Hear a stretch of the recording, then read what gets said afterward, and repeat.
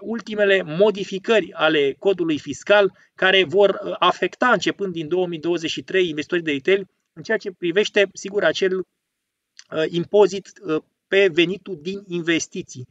Și nu ne raportăm neapărat la impozitul pe dividende, care va crește la 5 la 8%. Ne interesează mai mult nu ca investitori care vor să acumuleze, care au capitalul alocat în ETF-uri cu acumulare, ne interesează acel impozit pe vânzarea titlurilor de proprietate și avem acum o interpretare a celor de la XTB care uh, practic ne explică cum acest impozit va scădea pentru anumiți investitori, dar ar putea rămâne ridicat pentru alții. Vom discuta cu Ovidiu și vom încerca să interpretăm cu informațiile pe care noi le deținem până la acest moment aceste noi schimbări, informații limitate pentru că nu știm exact cum se vor implementa exact aceste modificări Uh, de la anul. Rămâne să vedem cu toții acest lucru. Ovidiu, ce ai înțeles din acest uh, anunț al celor de la XTB și din interpretarea pe care înțeleg ei au făcut-o împreună cu cei de la BDO sau ceva de genul? Da, de la BDO, audit. România. Mm-hmm.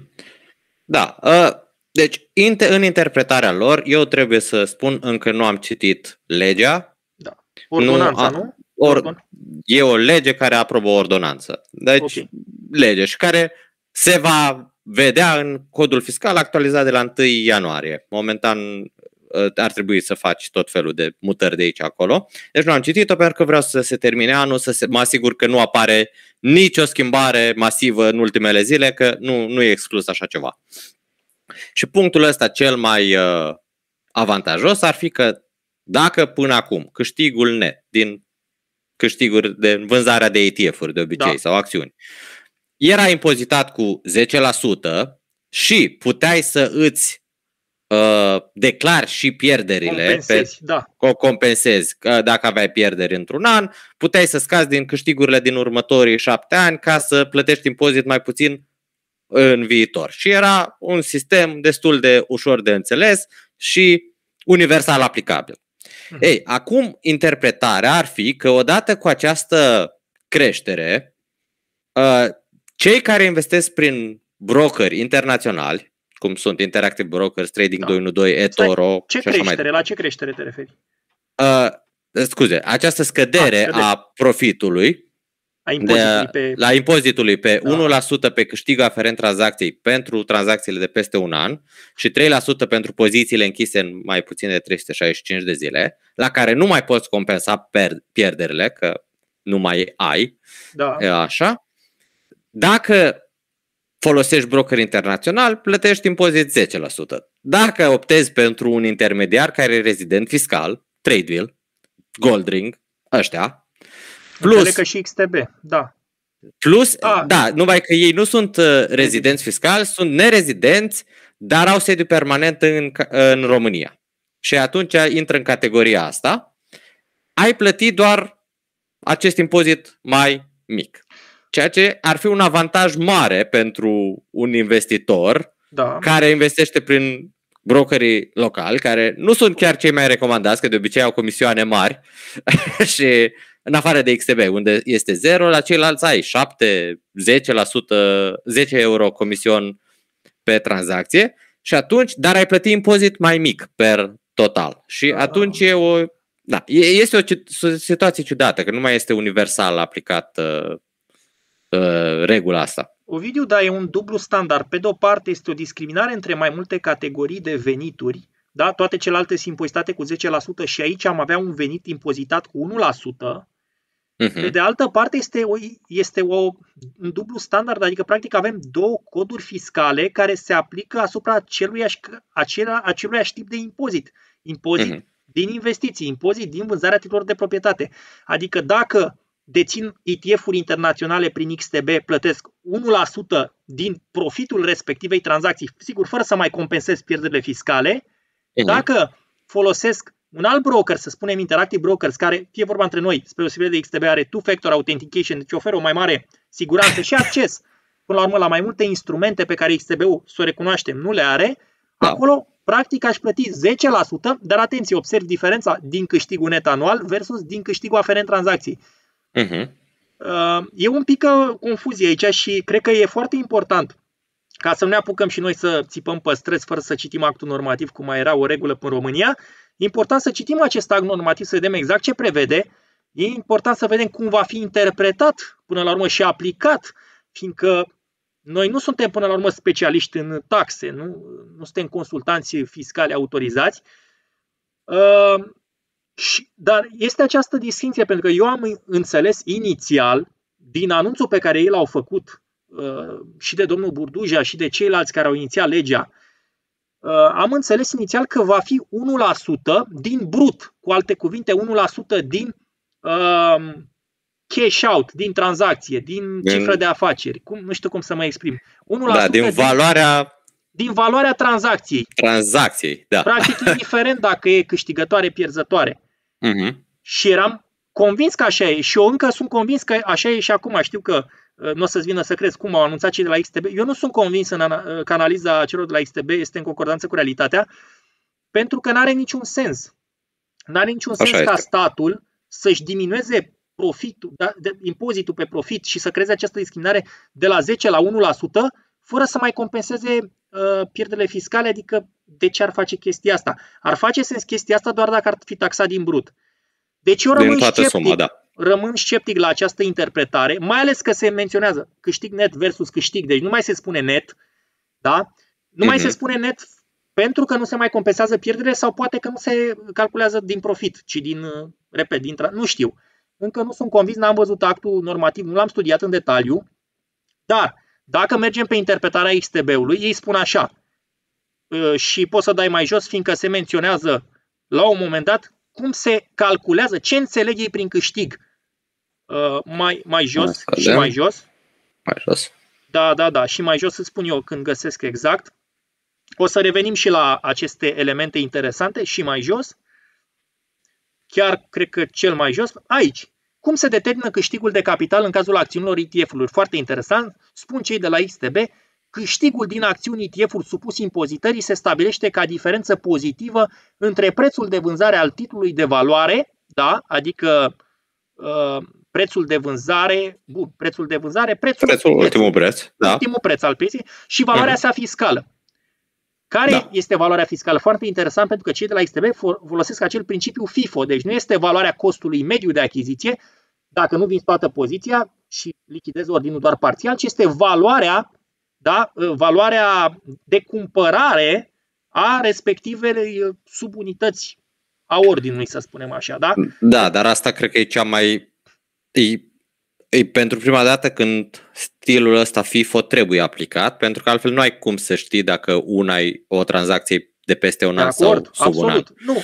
Noi când calculăm, noi când ne ținem evidența, noi ne, inter, ne raportăm la costul mediu, dar când vorbim de taxe și de aspectul, da. impactul da. fiscal, întotdeauna se ia în considerare acest principiu FIFO, first in, first out. Deci valoarea fiscală calculată după principiul FIFO, foarte interesant, din care se scad comisioanele aferente tranzacții de vânzare, în cazul XTB nu avem, fiindcă nu sunt comisioane de mhm. cumpărare sau de vânzare. De ce interpretează că, da, este practic impozit pe profit de 1%, dar, uh-huh. foarte interesant, nemai compensându-se pierderile, adică acelea nu se mai impozitează deloc. Uh-huh. Putem să dăm uh, mai sus acum să, să vedem din nou interpretarea. Da, aici aș vrea să precizez o chestie. Uh, costul mediu ponderat este foarte ușor de folosit când uh, Astea sunt principii contabile, da. deci e foarte ușor de folosit când ai na, multe tranzacții și din cauza asta îți scazi mediul, ai tot timpul un cost mediu și tot timpul faci diferența la aceeași sumă. Deci e mai simplu din punct de vedere uh, contabil. Dacă vrei să calculezi câștigul unei tranzacții da. și să ofere la 10%. Dar dacă contează intervalul de timp, FIFO este obligatoriu, că altfel n-ai cum mm-hmm. să-ți mhm. dai seama la ce preț sau da, ar fi de două ori aceeași chestie. FIFO, da, FIFO se folosește con, uh, practic din punct de vedere fiscal, da, când calculăm mm-hmm. câștiguri și pierderi, iar costul mediu se folosește din punct de vedere al uh, ținerii evidenței exact. da, portofoliul nostru de investiții, update-ul pe care îl facem întotdeauna, mai ales că noi dacă uh, cumpărăm, da, cumpărăm și pe corecții de multe ori, de-aia spunem reducem costul mediu de achiziție. Exact. Da? Acum e foarte interesant uh, ce se întâmplă cu FIFO. Tu dacă ai, uh, îți, îți vinde prima oară o, un, să zicem, o poziție cumpărată la un preț ridicat, ace, acea primă tranzacție, tot efectul este de scăderea costului mediu ulterior. Da. Deci costul mediu care rămâne se va modifica. Pentru, exact. E important de menționat. Sigur, aici se discută și despre noi, foarte interesant, despre o schimbare a bazei de impunere a contribuției uh, de asigurări sociale. Cu alte cuvinte, acum vom continua să depunem declarație unică, deci nu pentru uh, impozitul pe profit, da, acolo se impozitează la sursă de către XTB, cel puțin vom vedea, alți brokeri s-ar putea să nu, să fie o mhm. altă, o altă regulă, dar dacă vorbim de CASS, dacă îndeplinim acest prag minimal de 6 salarii minime brute, trebuie să depunem declarația unică și mai mult de atât, de atât să plătim CASS. Și e foarte interesant în contextul în care nu mai se compensează pierderile, ce se înțelege prin venituri extrasalariale anuale. Posibil să fie pur și simplu tranzacțiile câștigătoare, adică uh, să zicem, eu am pierdut 100 de mii, dar am câștigat 50 de mii, eu în continuare se consideră că venitul e de 50 de mii. Și atunci eu trebuie să, dacă, să zicem, marchez profit mai mare de 18.000 de lei, da, care înseamnă 6 salarii minime brute, atunci uh, eu va trebui să plătesc și CASS de la anul, ceea ce până acum nu era cazul pentru că aveam, puteam să fac, nu, Ovidiu, și acest tax loss harvesting. Adică aveam o poziție pierzătoare, una câștigătoare, le compensam una pe alta și nu mai plăteam nimic. E, nu mai poți da. să faci artificii de genul ăsta de la anul după noua reglementare, cel puțin la XTB. Și dacă cel dăm mai jos... Interpretarea asta, da. După interpretarea asta care nu știm, mă rog, nu, nu am convingerea nici că e bună, nici că e proastă, pentru că nu am citit, uh, nu am citit uh, actul normativ.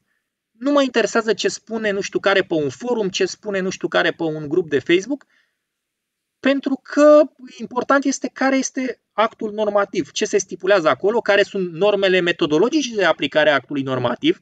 Da? Aici uh-huh. avem doar o interpretare, o judecată de valoare, nu avem o lege. E foarte important. Da. Bun, și mai jos, dacă dai uh, puțin, vom vedea și interpretarea celor de la XTB, care, bineînțeles, vor cumva să uh, sublinieze avantajul de a lucra, de a colabora cu, la punctul 2 și punctul 3 de altfel, se menționează Asta. următorul lucru. Aici, la 2.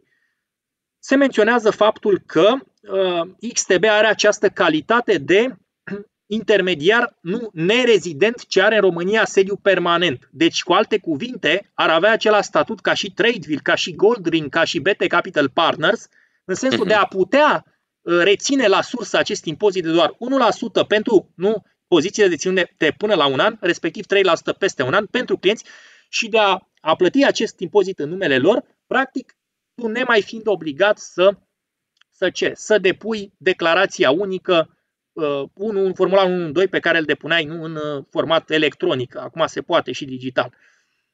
Pe de altă parte, tot ei ne spun mai jos, la punctul 3, ce se întâmplă dacă investesc printr-un intermediar care nu este rezident fiscal în România și care nu are în România un sediu permanent, dar care are calitatea de intermediar, cum ar veni, nu știu, poate Trading 212, zic, nu dau cu parul, poate Itoro, nu știu exact ce statut legal are, sau mai cu siguranță Interactive Brokers, un broker foarte reputabil, folosit poate de noi toți, uh, uh, cel puțin pentru o parte a portofoliului. Eu am principalele dețineri, cele pe termen lung, uh, ETF-urile Smart Beta pe Interactive Brokers, da?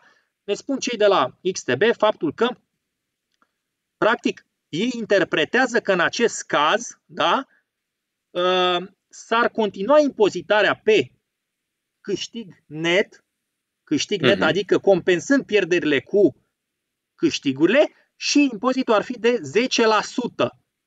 De 10%. Păi să mă ierte Dumnezeu, cum poate exista, cum poate exista două impozite, cote diferite de impozit pentru același, aceeași activitate, venituri din investiții. Adică eu și pe XTB și pe Interactive Brokers cumpăr tot ETF-uri, realizez tot tranzacții cu acțiuni, fac aceeași activitate. Cum într-o parte plătesc 1% din profit fără să se compenseze pierderile, în altă parte 10% din același profit, dar cu compensarea pierderilor. Da, este, este un pic uh, dubios. Uh, oarecum similar cu ce avem cu dividendele. În România, da. dividendele de la companii din România sunt reținute la sursă și impozitate cu cota de 5 până acum, 8. începând de la 1 ianuarie, 8%.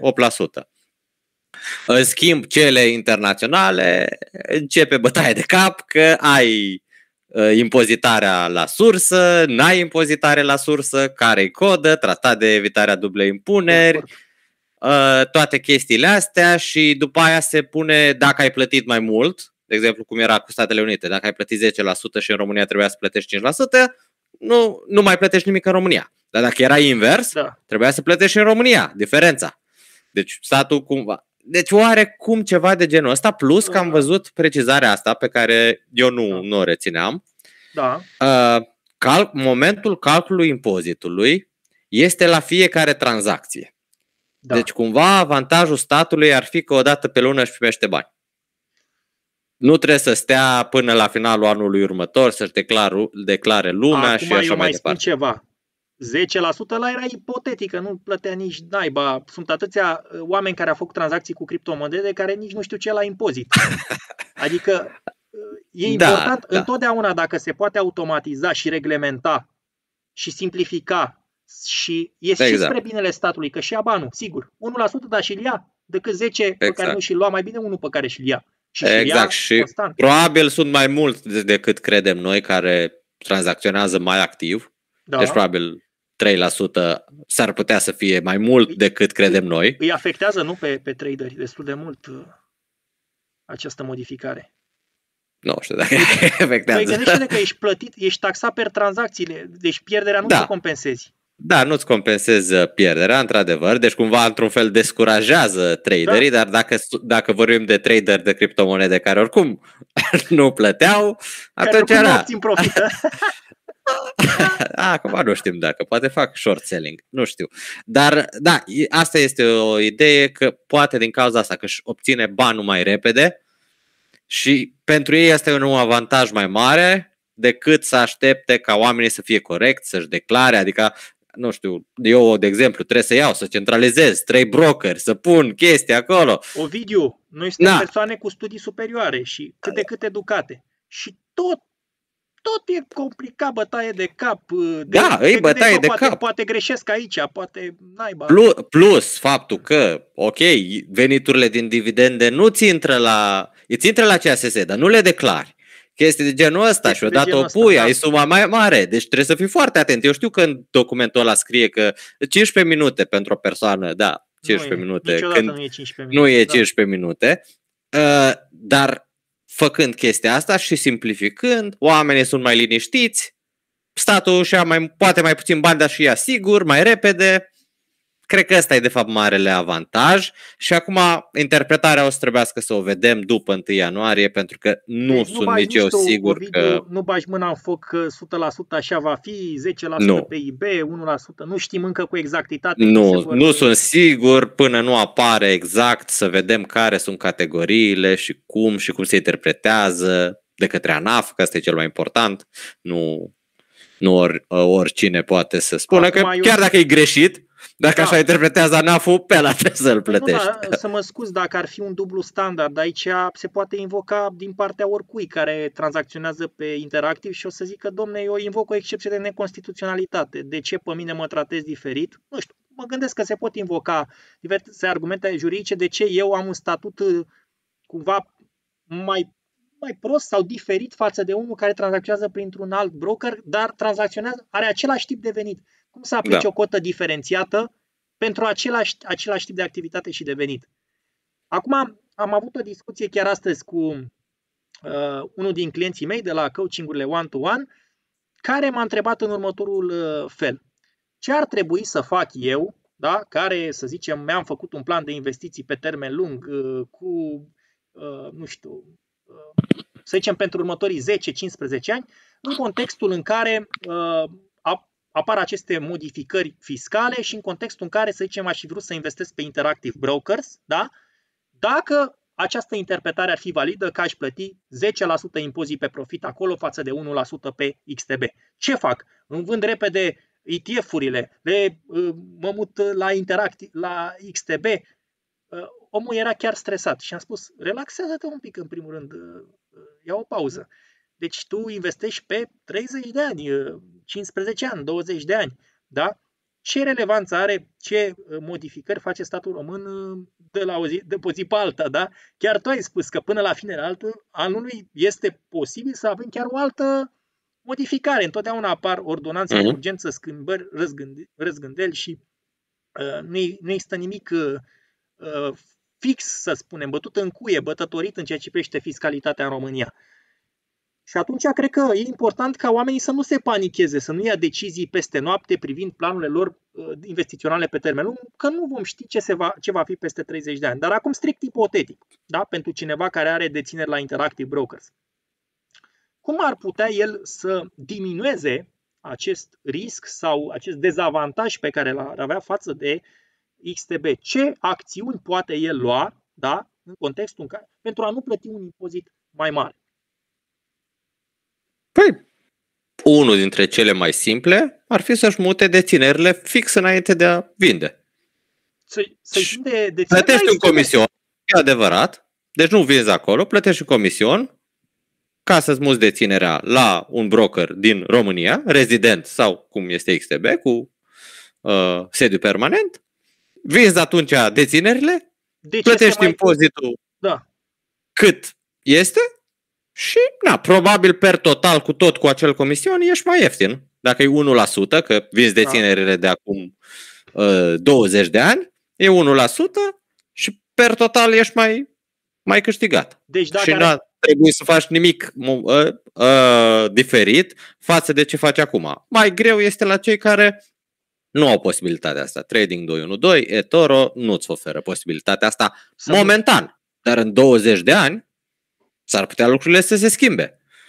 Deci... Ovidiu, deci foarte important. Deci, tu spui în felul următor. Uh, tu poți oricând să-ți muți deținerile de la Interactive Brokers la XTB, dacă ar exista această posibilitate de arbitraj cumva, uh-huh. care să se mențină timp de 30 de ani și aceasta ar fi interpretarea aplicării impozitului și așa mai departe, uh, cu un cost modic, să spunem, da, ești mult mai bine și uh, vei fi impozitat și tu cu uh, acel 1%, plătind un mic cost pentru transfer. Deci nu este până la urmă o problemă asta, nu? A mutării fondurilor de la XTB la Interactive Brokers sau de la Interactive Brokers la XTB, nu? Da, în mod normal nu este absolut nicio problemă.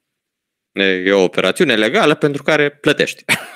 Asta e sigurul cost. Și o a doua variantă, mă rog, care îmi vine în minte acum, în ideea în care, să spunem, nu ai vrea să muți fondurile dintr-o parte în alta, ai putea să te folosești de acea compensare a pierderilor fiscale pe care IB-ul încă ar mai avea-o, ipotetic, uh, și să faci ceea ce se numește tax loss harvesting. Adică să compensezi niște câștiguri cu niște pierderi și eventual, dacă tu vrei să păstrezi respectivele poziții, le cumperi din nou de pe XTB. Deci da. Poți să faci și astfel de operațiuni astfel încât să spunem să eviți sub o formă sau alta uh, un, un impozit mult prea mare.